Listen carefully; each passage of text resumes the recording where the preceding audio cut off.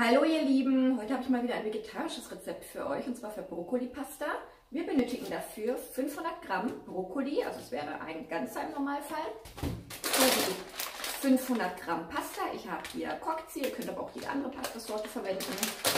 Eine große rote Zwiebel, zwei große Knoblauchzehen, Salz und Pfeffer sowie 400 Milliliter Gemüsebrühe, 600 Milliliter Sojadrink, die ungesüßte Variante, etwas Olivenöl, 150 Gramm geriebener Parmesan und zu guter Letzt noch getrockneten geriebelten Basilikum und zwar zwei Esslöffel. Ja, und dann würde ich sagen, legen wir los. Zuallererst habe ich meine große rote Zwiebel klein gewürfelt. Meine zwei Knoblauchzehen habe ich geschält. Die werde ich mich mit der Knoblauchpresse ähm, pressen. Ihr könnt die aber auch ganz klein fein hacken. Und den Brokkoli habe ich auch ähm, genau in kleine Röschen geteilt. Wenn der Brokkoli schon ähm, gelblich ist, macht das gar nichts. Also der ist immer noch essbar. Ähm, genau. Und meine 400 Milliliter Gemüsebrühe habe ich auch schon aufgekocht und beiseite gestellt. In einen großen Topf habe ich jetzt etwas Olivenöl hineingegeben. Da werde ich meine Zwiebelwürfel jetzt drinnen andünsten und ähm, die Knoblauchzehen, genau, die presse ich rein und dünste das mit den Zwiebelwürfeln an. Meine Zwiebelwürfel und Knoblauch habe ich hier jetzt angedünstet.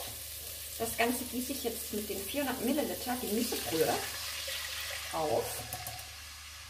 Dazu gebe ich meine 500 Gramm Pasta.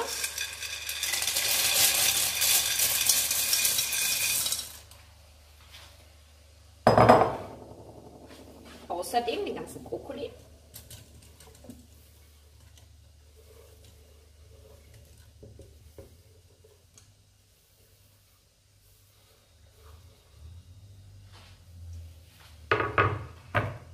Sowie meine 600 Milliliter Sojatrink. Das Ganze einmal gut vermengen.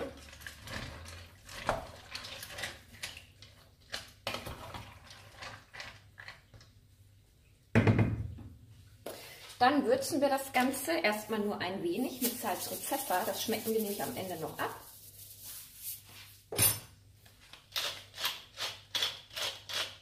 Wie gesagt, erstmal nur wenig. Und zwei Esslöffel getrockneter Basilikum. Ich mache so zwei leicht gehäufte Esslöffel. Ja, und das Ganze muss jetzt bei ähm, halber, auf halber Stufe, niedrige Temperatur, circa 15 Minuten köcheln. Ihr macht dann einfach am Ende die Probe, beziehungsweise seht ihr das ja, wenn die Flüssigkeit sich aufgesogen hat.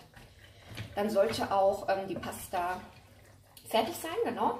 Ähm, ihr müsst das halt jetzt gut wenden, weil, wie ihr seht, ist die Pasta und der Brokkoli nicht komplett bedeckt mit der Gemüsebrühe und, der, ähm, und dem Sojadrink. Deswegen rührt ihr das jetzt immer alle paar Minuten um in den 15 Minuten, bis alles schön gar ist. Ihr Lieben, meine Brokkoli-Pasta ist nun fertig. So sieht das Endergebnis aus. Wie gesagt, ich habe das so circa 15 Minuten köcheln lassen. Ich habe den Deckel noch drauf gegeben, ähm, genau damit das noch, also damit das ein bisschen schneller gart und die Flüssigkeit nicht komplett, ähm, also schnell aufgesogen wird, weil wenn der Deckel ähm, nicht drauf ist auf dem Topf, dann ähm, ja, dauert das halt ein bisschen länger und ähm, die Flüssigkeit geht weg. Genau, also als Tipp den Deckel drauf machen.